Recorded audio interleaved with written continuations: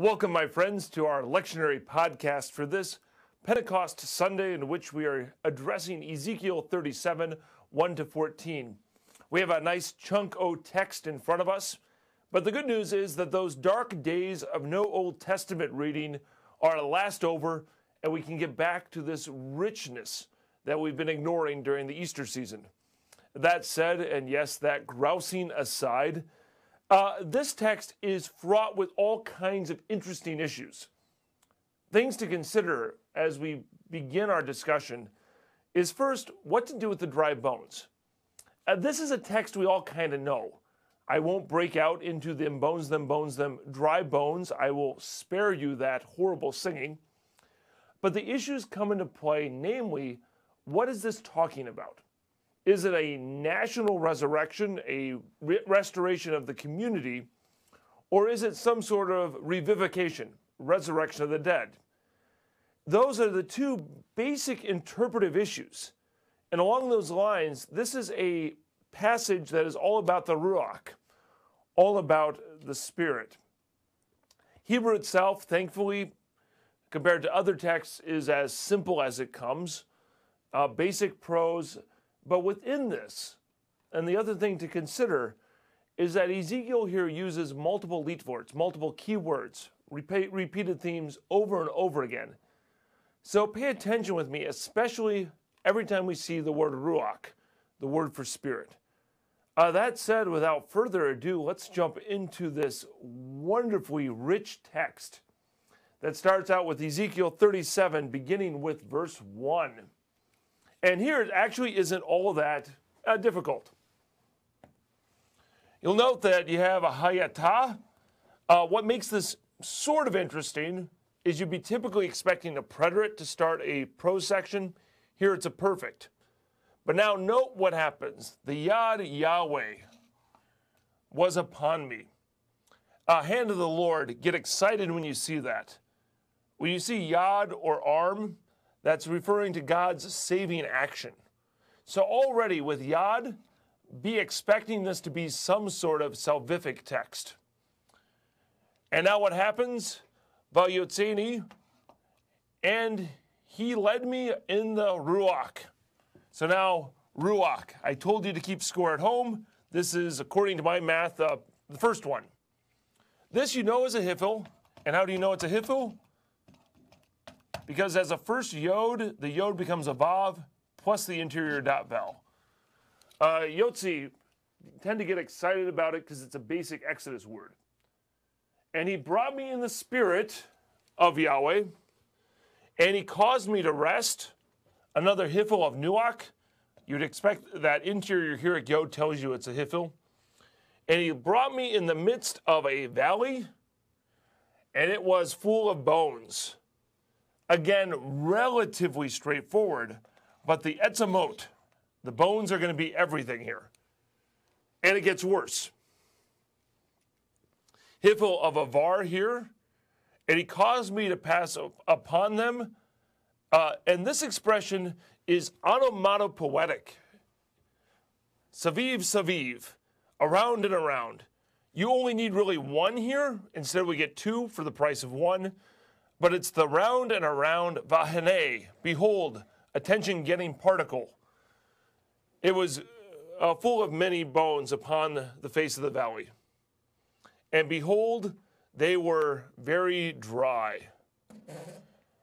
Uh, if you recall Ezekiel's theology, this is already pretty, pretty significant. Ezekiel, more so than any of the other prophets, is very priestly in his orientation. And here, a couple things have happened. Uh, one, he's dealing with dead body contamination, which, if you recall, is generally bad news for a priest. Although Ezekiel 4, he's already eaten uh, meals cooked on dung, so he's been on a bit of a bad roll for most of the, for frankly, most of the book. Uh, that said, he is in a ritually unclean state here, which makes it even even more shocking. And it gets worse. Uh, note the way that it's a, that he goes around and around, he cannot escape, and their dryness and their scatteredness. Uh, this isn't a typical image for how you'd expect burial to happen.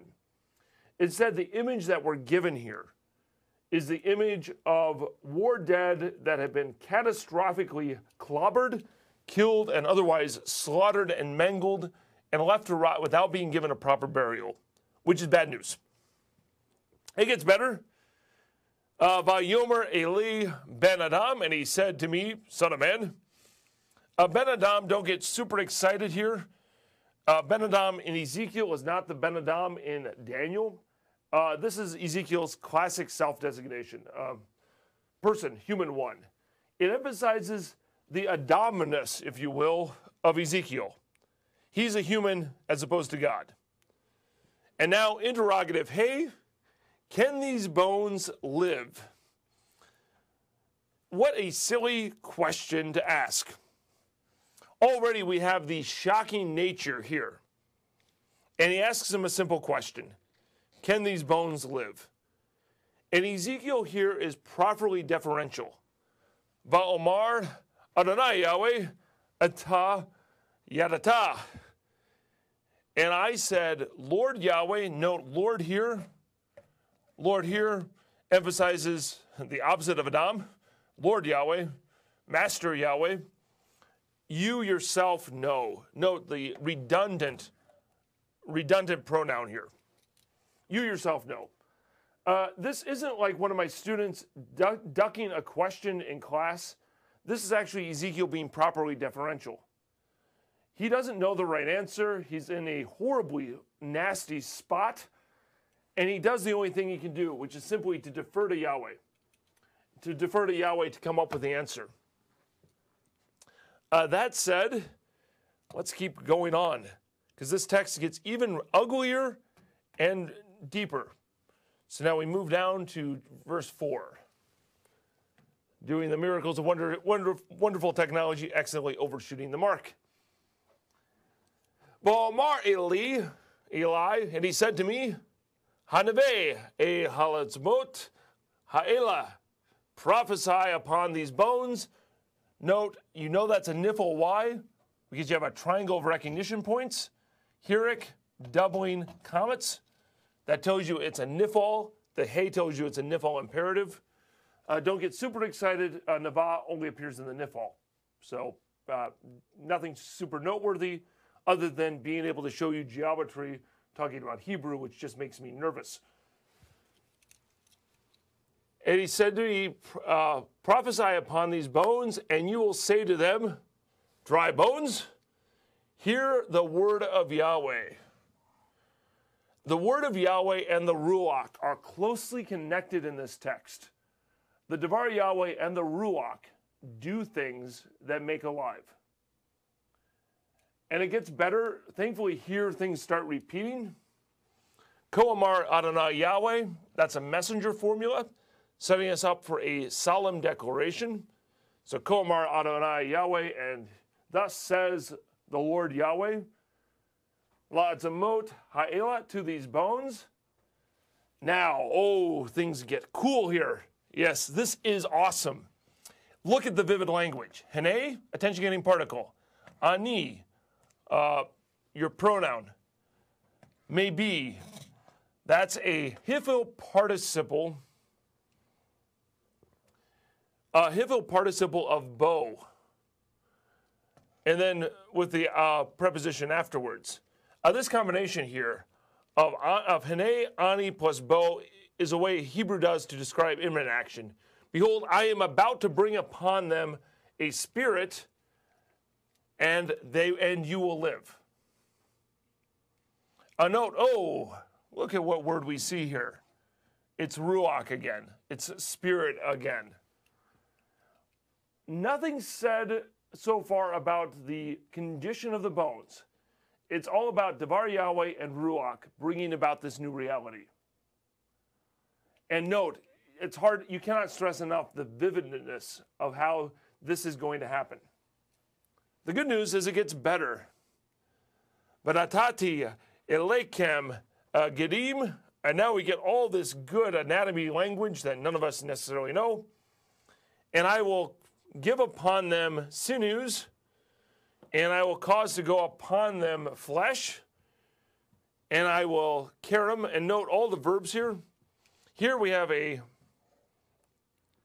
here we have a hifil of Allah with the hay, the patak being attracted by the uh, wild and crazy guttural. Otherwise, here was just some boring old cows. And skin will cover upon you, and I will give upon you a ruach. Ooh, ruach, I think, if I'm keeping score correctly, that's the third time we've seen it. And you will live. And now here is a key pivotal statement. Uh, get excited here. They get excited because now we get the whole purpose of what's going on. And you will know that I am Yahweh. Why does God save? God saves because God saves. And the result of this, and why does God save? In order that you may know that, that Ani Yahweh, that I am Yahweh. At this point, we get some wonderful repetition. But this is the purpose. Why does God save? Because that's what God does. Because Ani Yahweh.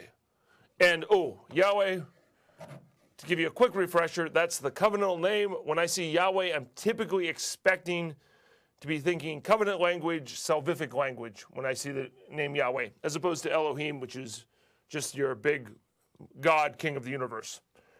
Uh, that said, now we go to the very bottom of the board and everything repeats. And I prophesied just a nifal of Navav.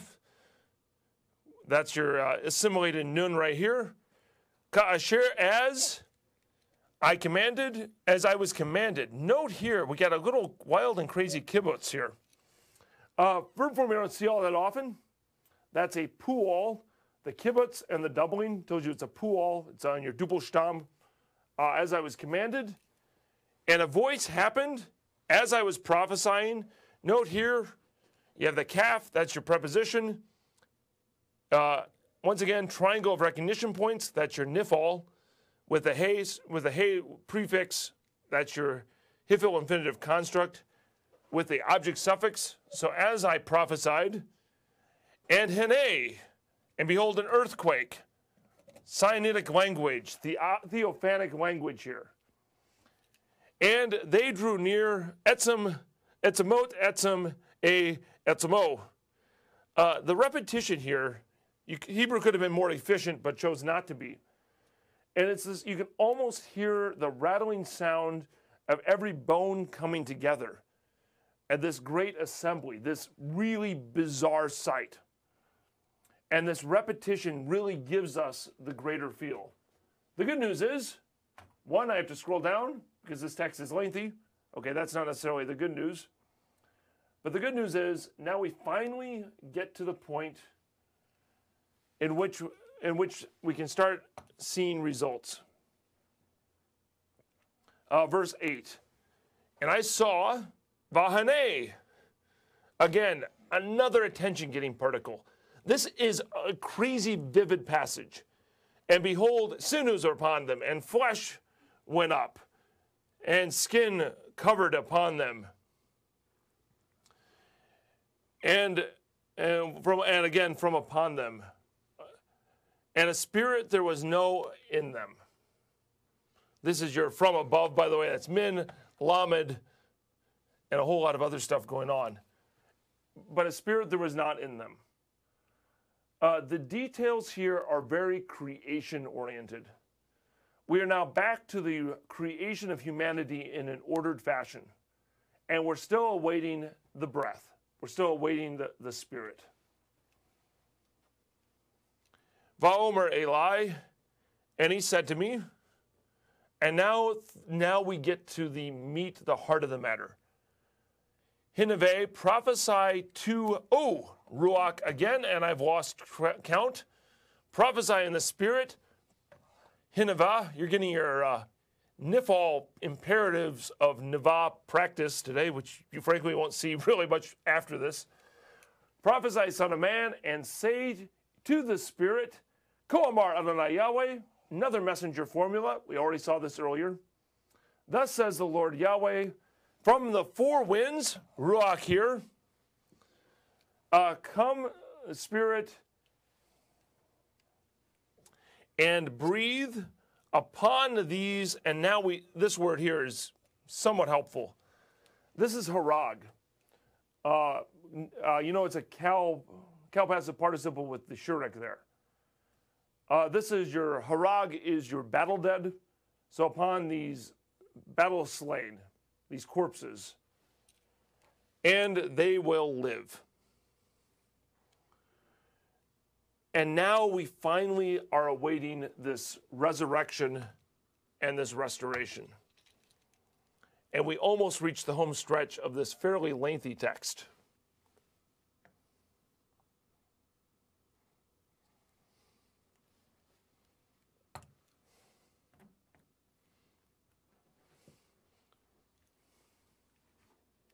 And now, verse 10. And I prophesied as he commanded. There's your just appeal of Sabah. And a spirit came on them, and they lived, and they stood upon their feet, strong, great, very mighty. Ma'od, ma'od. A great, mighty strength. And now finally we reach the end, sort of. And he said to me, Son of man, uh, these bones are all the house of Israel. They are, Hema. And behold, they are saying, Our bones are dry, and we've perished, and, and, and our hope, tikva, is lost for us. And this really helps us see this, at least at one level, operating in an exilic perspective of the community that's lost that they said that God promised to be there and God isn't there. Therefore, prophesy and say to them, Thus says the Lord Yahweh Behold, I am opening your graves, and I am bringing about from your graves my people, and I will bring you to the land of Israel. If you're thinking about how, how to read this, note that this really is communal in nature at this point. Uh, what's going on is that we have this emphasis here that God restores a community. And because of that, oh, let's finish up the text and we'll take a couple moments to look at some implications. And you will know, oh, here, purpose clause, we already saw this again. Ani Yahweh, that I am Yahweh when I open up your tombs and when I bring upon you from your graves my people. And I will give a spirit upon you the Spirit brings life. Hence why this is the text assigned for Pentecost. No, we've gone from word to a whole lot of ruach, and frankly, by this point in our discussion, I've lost track. Hopefully, you're keeping a better tally at home than I am. But my spirit is in you. Spirit is connected with Chaya, and you will live. And I will bring you upon your land, and you will know that I am Yahweh your God I have spoken, I will do this, Naum Adonai, your utterance of Yahweh. So that's the gist of the Hebrew. Now the question becomes where to go with this. A note the Ruach image really gives you a lot to work with, especially thinking Pentecost, and how the Spirit here plays a constant role of bringing life. Also, this idea of creation and new creation, the Genesis implications as well. Another key area to explore is that we have echoes of this once Good Friday happens. For example, Matthew 27, when the graves are open, which shows that this Ezekiel vision of God's restoration has happened when the graves of the people are opened, when Jesus dies on the cross. As far as what to do with this in terms of that initial question I raised at the start of our time together today, is this national or is this re- resurrection of the dead? And the answer is yes. Uh, yeah, you can call me a wimp that I'm going to take both options. That at least initially here in Ezekiel, this is a post exilic restoration, which functions as a type of bodily resurrection, of the resurrection of the dead. One of the things we just have to own up with with the Old Testament is that in terms of resurrection dead language, uh, we don't have a lot of explicit stuff to work with. Isaiah 25, Isaiah 26, Daniel 12 being basically your texts. So here we have this glorious pattern of resurrection, restoration of the community, the start of the church by the Spirit, but also the resurrection of the dead of the life of the world to come. It is good to have those dark days of no Old Testament reading over as we can again explore these riches. Uh, I really pray that you have fun with this text. There's so much going on. Ruach, Ruach everywhere. And may God's Ruach, may God's Spirit bless you as you prepare for your preaching for this text.